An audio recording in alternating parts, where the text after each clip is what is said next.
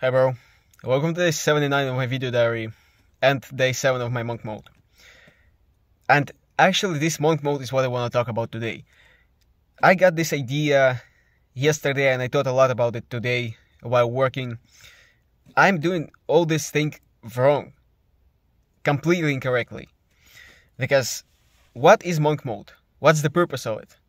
To achieve some goal, right? And instead I'm just following my schedule, which is not even goal oriented. It's just, it's very balanced, I can say. Because I have like two hours for reading in that schedule. Then I have one hour of exercising. Then I have one hour of thinking. Two hours to eat per day. That's pretty a lot of time to just a lot of time wasted. Like not on the goals. And I mean, if you just live your life without trying to really, without trying really hard to achieve something, then maybe this is fine. But for me, I really need to work a lot now, a lot, in order to actually achieve something with this YouTube channel. Yeah, and earn something from it. And so I'm gonna actually change this now. I made a new schedule specifically for this monk mode. The whole day will be just pure work.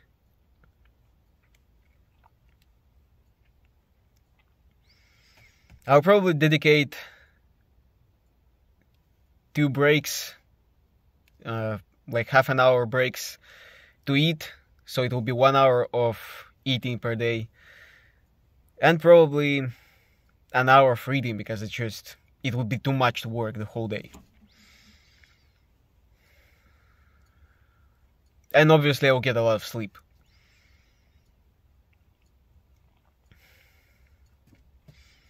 There's really not much that I can do in these days where I actually work my job because, well, there's nothing I can change about it. I have to go to work.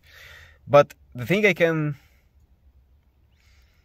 the thing I probably can change, the thing that's supposed to be my goal for this day is to first of all, don't do any bad habits like playing video games, obviously, and eating bad stuff.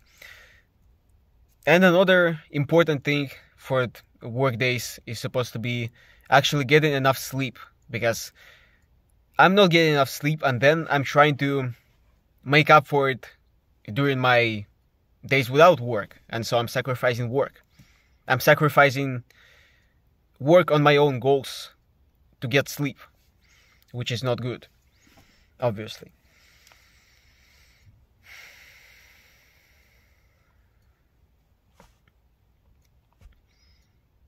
And yeah, it kind of makes sense why I felt that I'm not doing enough because I I did I did not did enough. I did not do enough. I had only like three hours of making videos in my schedule. So three hours of actual work per day. It's it, it's not just not a lot. It's actually very small amount.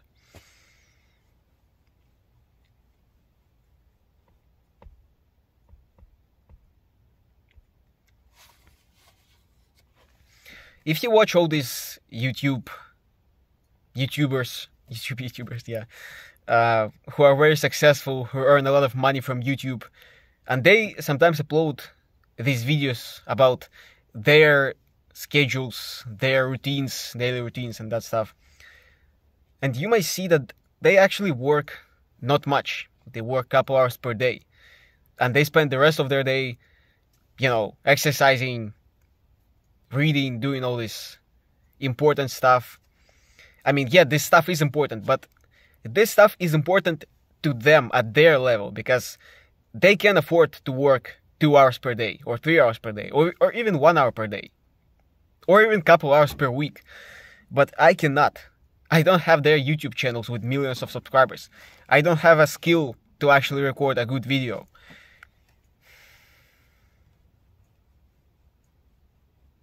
So i kind of have to work much harder than they do and obviously sacrifice some of the important stuff like an hour of reading. I mean, it would be much better to read one two hours instead of one hour. But I have to sacrifice this one hour in make for making videos because this is my main priority right now. I have two goals for this year. First of all, I want to monetize this YouTube channel and actually get some income from it. And the second goal is I need to train, well, just watch my videos about my video about my goals. The second goal I need to train my three three of my muscles. I mean, back is not a muscle; it's like a muscle group. So, yeah.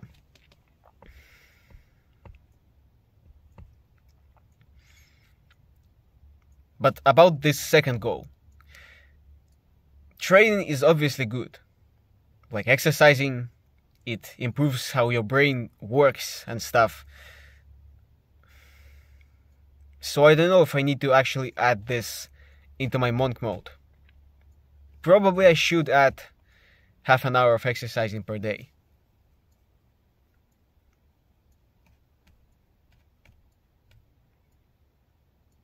So yeah, maybe I'll do, you know what I will do? I'll add half an hour of reading per day. Not two hours, not one hour, but half an hour of reading. And half an hour of exercising.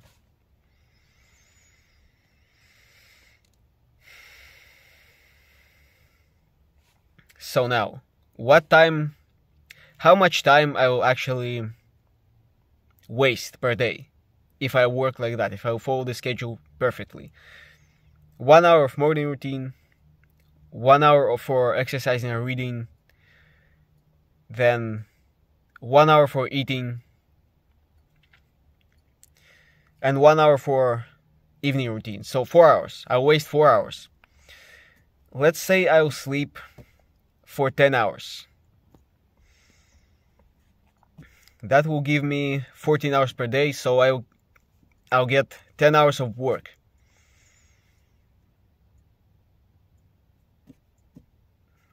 Which means that I will have to upload at least one video per day because like what am I supposed to do for 10 hours to not upload even a single video?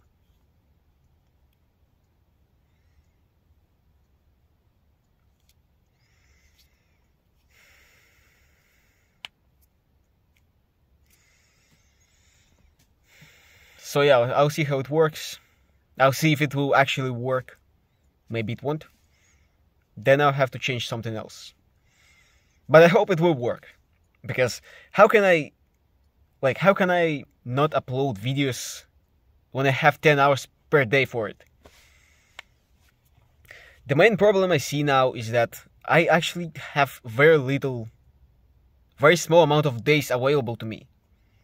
Like half of my week is literally wasted at work.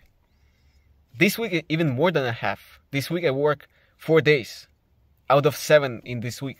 So, this can be a problem. But if I work for 10 hours per day on my videos, even in three days, I'll, I'll put 30 hours making YouTube videos let's say I'll start making very high quality videos. And it will take me 5 hours to make one. I'll make 6 videos per week, which is almost every day. I upload almost every day.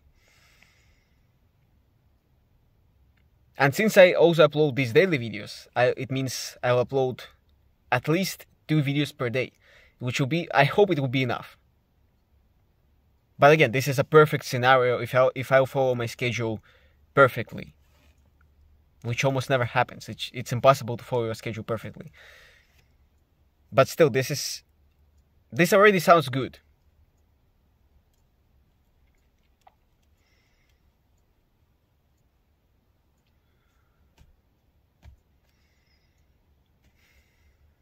So yeah, I'll see how it works. You'll see too because I'll actually tell you about it in my next daily videos.